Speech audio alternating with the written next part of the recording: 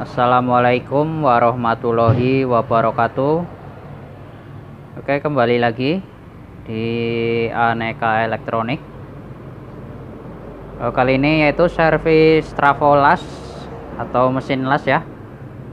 Oh, Bisa dilihat di sini mesinnya seperti ini. Bodinya juga udah ini ya Memang keadaannya udah seperti ini uh, untuk mereknya yaitu di sini uh, HL 160 ampere. Uh, dengan keluhannya katanya nggak bisa untuk kelas. Terus untuk lampu OC-nya dia nyala yang artinya memang protek. Uh, ada masalah tentunya kalau ini nyala lampu kuning atau lampu proteknya. Oke kita langsung saja kita coba tes dulu ya. Kita nyalakan. Kita colokkan dulu bisa dilihat di sini ya. Uh, ini untuk saklarnya udah nggak uh, fungsi lagi udah dilangsungkan sepertinya. Bisa dilihat di sini lampu kuning nyala dia. Yang artinya protek otomatis untuk out stang ininya nggak keluar tegangan karena memang protek. Oke langsung saja kita bongkar dulu nanti uh, bagaimana penanganannya dan seperti apa. Oke kita bongkar dulu Oke ini dia eh, travolasnya udah tak bongkar. Jadi nanti apa saja langkah-langkahnya biar lebih cepat ketahuan dari mana eh, asal proteinnya. Nanti kita coba langkah demi langkah. Oke yang belum subscribe monggo di subscribe dulu dan jangan lupa untuk loncengnya diaktifkan sekalian biar tidak ketinggalan video-video yang terbaru dari Aneka Elektronik Oke, langsung saja. Uh, untuk prote di sini bisa dari beberapa macam ini ya. Bisa dari modul ininya sendiri yang bermasalah. Uh, modul osilatornya bisa juga atau memang ada yang bermasalah di bagian di sini uh, ada trafo di dalam bisa juga atau di, dari dioda ini atau bisa juga dari MOSFET ini finalnya ya di sini ini dia untuk mesinnya. Bisa dilihat. Terus di sini untuk power supply-nya udah diganti yang model universal di sini untuk power supply-nya. Ini dia eh, dalamannya. Oke langsung saja kita coba nyalakan dulu. Eh, di sini lampu kuning nyala ya. Untuk di modul juga nyala lampu merah. Sama dengan lampu kuning di sini. Terus untuk kipas eh, muter di sini normal yang artinya berarti untuk uh, tegangan 20 24 voltnya normal. Untuk mengetahui dengan cepatnya nanti coba kita lepaskan saja dulu di sini soket yaitu yang menuju ke trafo. Jadi nanti bila uh, kita nyalakan uh, ini dicabut apakah OC-nya masih nyala atau tidak untuk memastikan biar lebih cepatnya biar ketahuan ya nanti kalau memang dicabut kalau tetap masih protek kemungkinan bisa dari ada MOSFET yang di sini yang bermasalah. Entah itu short atau bocor. Yang jelas e, nggak normal. E, bisa juga dari modul ininya e, modul e, PWM atau osilatornya bisa juga. Oke kita matikan dulu. Terus nanti kita cabut saja untuk soket ini biar lebih cepat e, ketahuan dari mana asalnya untuk proteknya sendiri Oke kita cabut dulu. Tunggu berapa detik biar benar-benar tegangan hilang semua. Ini dia lampu proteinnya masih menyala.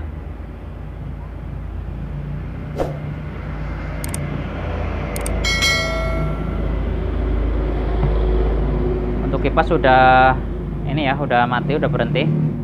Oke kita cabut saja. Untuk ini ya. Uh, ini udah mati lampu OC nya. Kita cabut dulu untuk ini soket yang ke trafo. Nah kita nyalakan kembali. Apakah masih OC atau memang sama masih OC kalau nanti OC udah hilang uh, udah nggak OC lagi udah nggak nyala lagi lampu kuningnya berarti di antara dua yaitu ada trafo bisa juga short bisa juga dari dioda sini bocor bisa juga. Oke kita nyalakan kembali.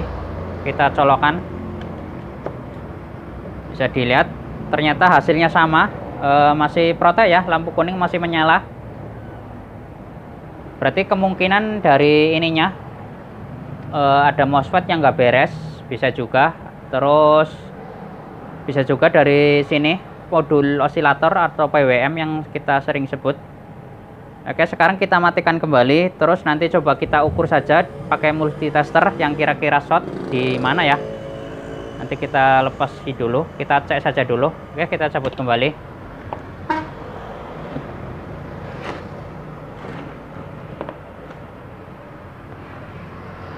Kita siapkan testernya. Oke ini e, nunggu benar-benar mati. Udah hilang semua untuk tegangannya. Oke langsung saja kita cek saja di sini ya. E, nanti yang short atau enggak e, bisa ketahuan atau memang nanti kalau kalau bocor sedikit seperti apa ya dia bocor kadang enggak begitu kelihatan ya di tester pakai e, tester seperti ini. Kalau memang nanti enggak ini bisa juga dicabut semua dulu untuk MOSFET-nya. Nanti ketahuan dia atau nanti masih protek lampu kuning nyala apa udah udah gak nyala lagi. Oke kita cek dulu cek manual apakah ada yang short? Sepertinya nggak ada yang mencurigakan di sini. Tapi di sini uh, ini ya uh, jarum tester di bolak-balik uh, simpangannya beda dengan yang ini.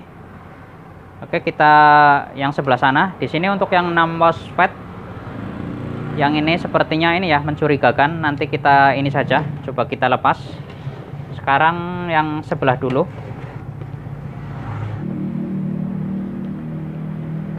Oke kita tinggal yang sebelah sini kita cek lagi. Seperti tadi yang sebelah sana.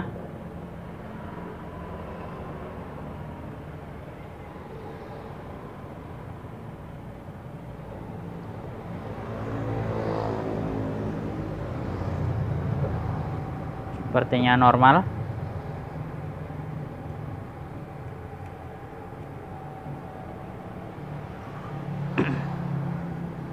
Oke, sepertinya normal ya, nggak kayak yang tadi di sini yang apa di dites e, pakai multitester dia untuk e, dibolak-balik jarum testernya gerak gerak ya.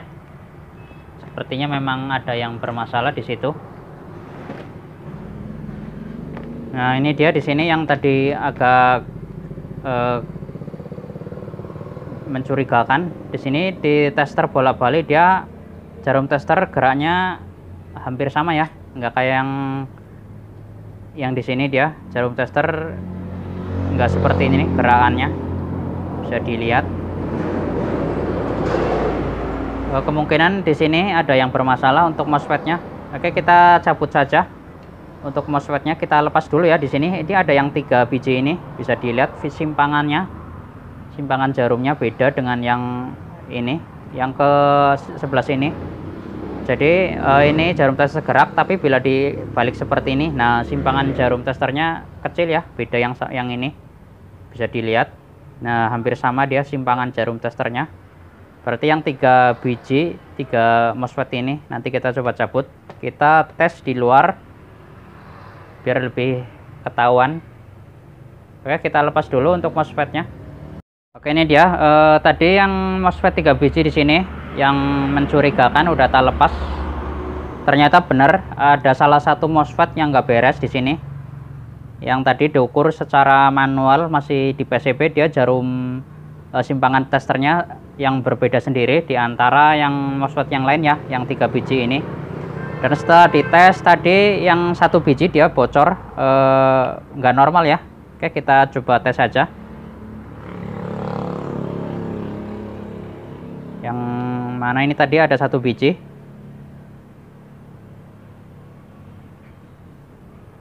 yang ini normal ya yang ini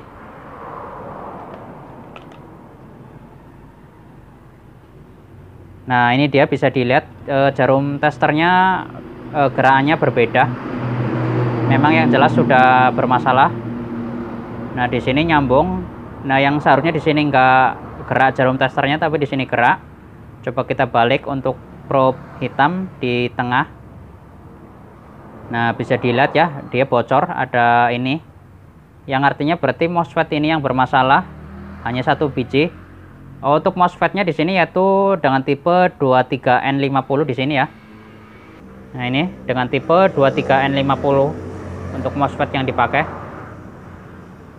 Berarti memang udah ini ketahuan yang dua tadi ini dites enggak masalah.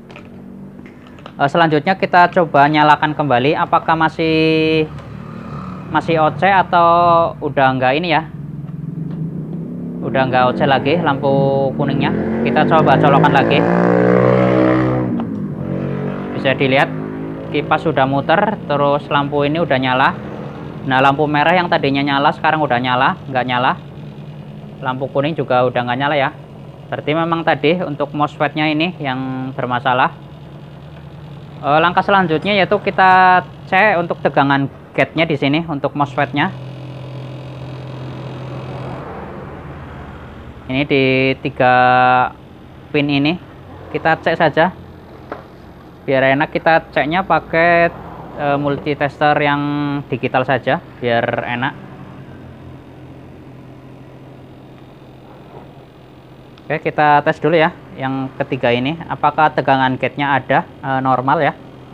Bisa dilihat di sini terukur e, 2,6 volt. Sepertinya normal. Ya sama imbang dia. 2,6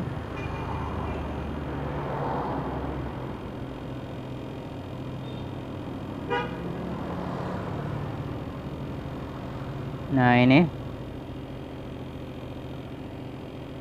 bisa dilihat ya uh, normal oke nanti kita cek saja uh, untuk ini oh ya Nanti kita cek juga untuk driver ininya, barangkali ada yang bermasalah seperti ada kapasitor di sini. Nanti kita cek saja biar lebih ininya daripada nanti udah dipasang kembali jebol lagi. Karena ada yang bermasalah di bagian driver sini. Seperti ada kapasitor, terus ada dioda zener di situ. Kita cek saja. Kita lepas dulu untuk ini ya. Oke, kita cek lagi, kita lepas dulu untuk uh, modul drivernya. oke ini dia. Uh, ini udah taca ya untuk bagian uh, drivernya.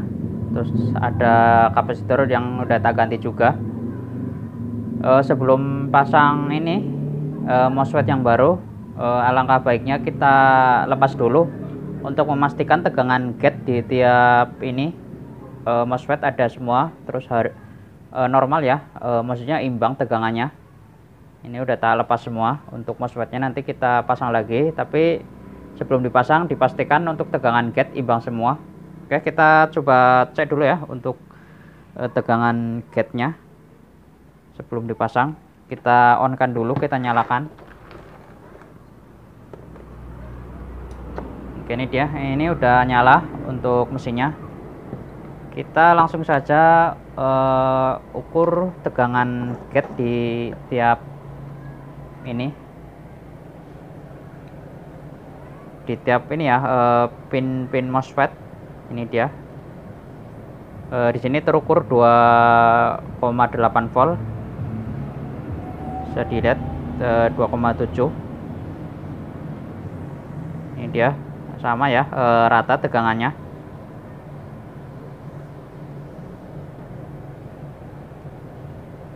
nah ini dia.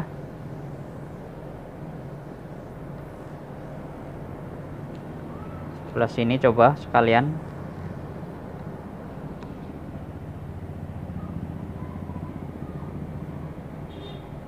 Oke. Oke rata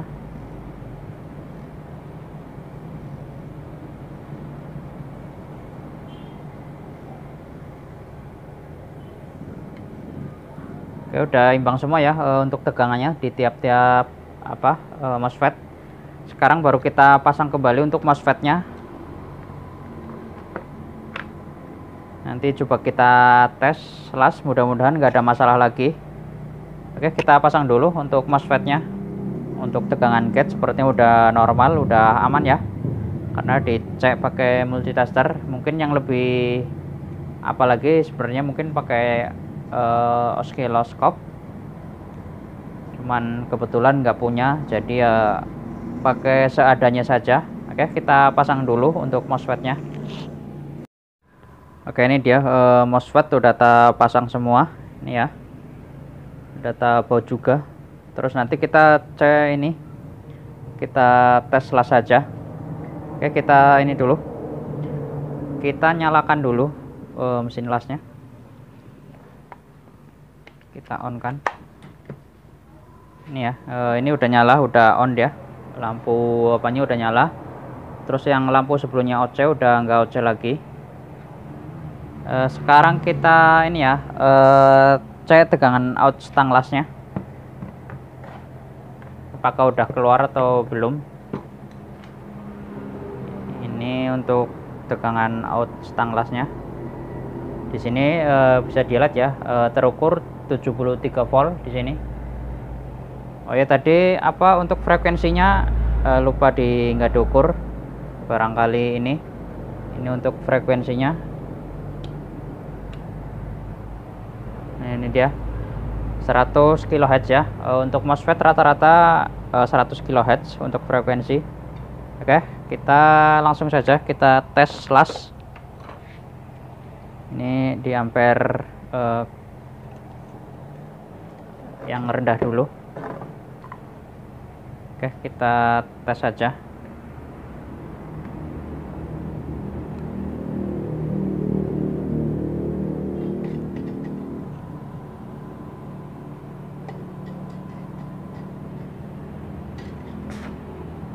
Oke, ini kecil ya. Sekarang coba kita besarkan sedikit. Nah, ini dia. Oke dia oke ya. Udah normal. E, mudah-mudahan bermanfaat. Assalamualaikum warahmatullahi wabarakatuh